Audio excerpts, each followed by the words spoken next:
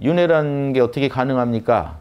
이, 그, 이 무상고 무아의 현상계에서 과거 생과 지금 나의 생이 어떻게 같습니까? 오온이 다 무상한데, 어, 무상하다는 측면, 그런 말도 일리는 있는데 이거예요. 그건 어느 한 면을 보신 거예요. 그런데 그 면만 가지고 얘기하면요. 무상하다는 측면에서는요. 5분 전에 여러분과 지금의 여러분은 이미 다른 존재입니다. 이해되시죠? 그러니까 전생과 나도 그렇게 생각하시면 돼요. 다르면서도 같아요. 분명히 같죠? 왜? 뭐가 같습니까? 5분 전에 내가 짓거려 놓은 것을 지금 5분 후에 내가 감당해야 된다니까요. 5분 전에 내가 신나게 욕하고 기분 냈는데 5분 후에 내가 이제 벌을 받아야 되잖아요. 그 대가를 치러야 되잖아요. 억울하지 않으세요?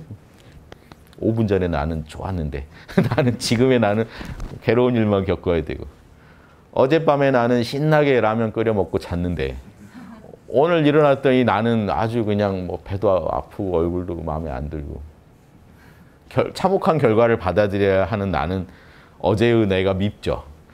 그, 그 철학적으로 한번 들어가 보세요. 분명히 달라요. 오는 무상하게 변하고 있기 때문에 사실 흐르는 강에 같은 강물에 발을 두 번 담글 수 없다는 게 강은 무상하게 흐르고 있잖아요. 그러니까 우리 생각, 감정, 오감도 계속 흐르고 있기 때문에요. 그 면에서 집중하면요. 순간순간이 다 달라요. 그러니까 전생의 나랑 지금의 나는 당연히 다르죠. 그 면을 가지고 보면. 하지만 재밌는 게 어제 내가 한 짓을 다른 사람이 아닌 내가 또 받고 있죠. 그건 이어져 있다는 얘기죠. 그러니까 나죠. 어제 내가 한 짓이 저쪽으로 가면 좋을 텐데 그 결과가 나한테 온단 말이에요. 도망갈 수가 없잖아요. 그러니까 이어진단 말이에요. 그러니까 같으면서 다른 그걸 아셔야 그게 진짜고 그러니까 어느 한 측면만 가지고 얘기하지 마시고 이 머리만 굴리다 보면요. 한 측면에 꽂히면 거기서 끝납니다. 와 다른 거였네.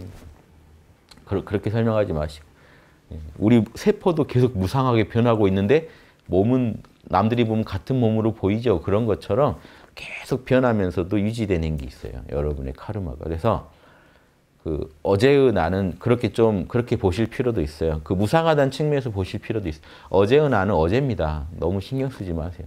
단 인과는 내가 책임져야 돼요. 어쩔 수 없어요. 어제 내가 진 빚은 내가 갚아야 된단 말이에요. 나한테 청구서가 날아오니까. 또 머리를 잘 굴리시면 오늘 잘 숨어 있으면 내일에 내가 폭탄을 맞겠구나.